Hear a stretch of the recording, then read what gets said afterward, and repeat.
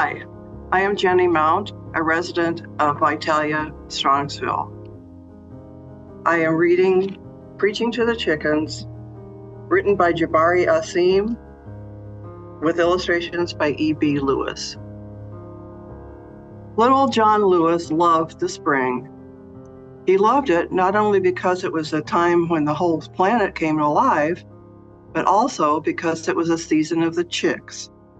Winter was too cold to bring them safely into the world, and summer was too hot. Spring was just right. Everyone on the farm had work to do. Work and put your trust in God, John's mama liked to say, and God's going to take care of his children. Trusting in God was easy. Work was a harder bargain. There was just so much to do on a huge farm in southern Alabama. Every March, John's father hitched the plow to a stubborn old mule. Giddy up, he'd shout, and together they'd break new ground, carving lines in the earth. In the fall, after months of planting, weeding, and tending, the cotton would be ready for picking. John's mother cooked the family meals from vegetables she grew collards, tomatoes, sweet potatoes, and other goodies. She cleaned the family's clothing in a big iron pot, stirring them in the boiling water and washing them with homemade soap before hanging them on the line to dry.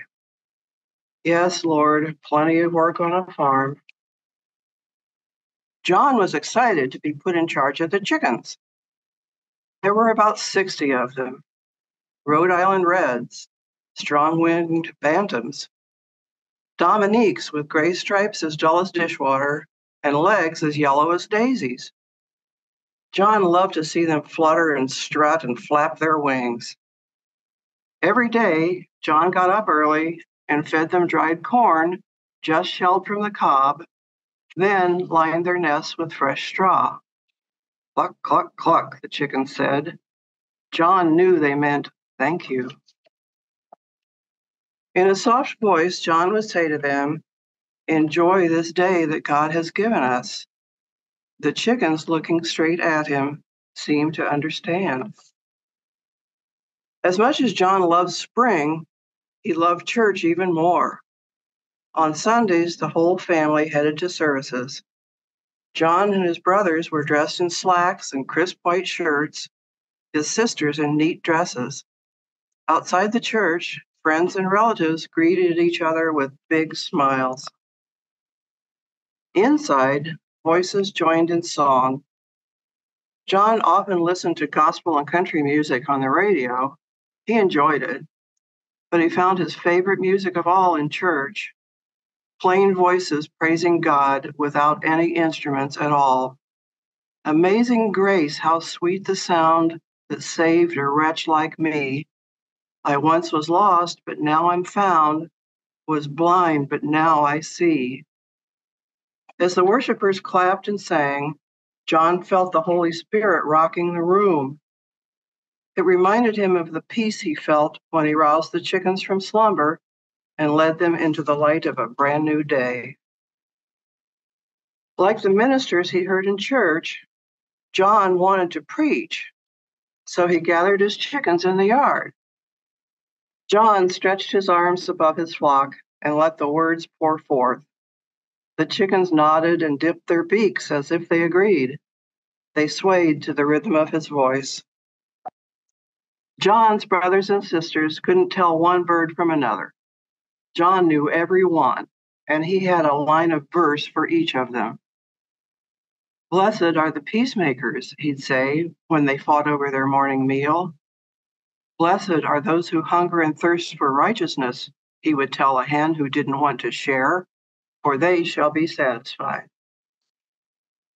One day, the rolling store man stopped by to make a trade. His truck was packed with flour, sugar, cooking oil, and bolts of cloth in bright colors. I've got plenty of good things, he said to John's mom and dad. I'll give them to you for a healthy hen. But John did not want to part with any of his chickens, and he knew they wanted to stay with him. He convinced his parents there were other things to trade, like eggs and seeds. The chickens stayed on the farm, and John learned to speak up for those who can't speak for themselves. When the hen called Big Bell fell into the well and got stuck, John was determined to save her. He filled a basket with breadcrumbs, and when he lowered it down, she climbed in and was pulled to safety. God makes miracles every day, John preached. When you're down, he lifts you up. Sister Big Bell, I believe you know what I mean. Cluck, cluck, cluck, Bell replied. John knew she meant Amen. John even baptized the chicks, bathing them in water from an old syrup can. But Lil Pullet had stayed under too long and appeared to have drowned.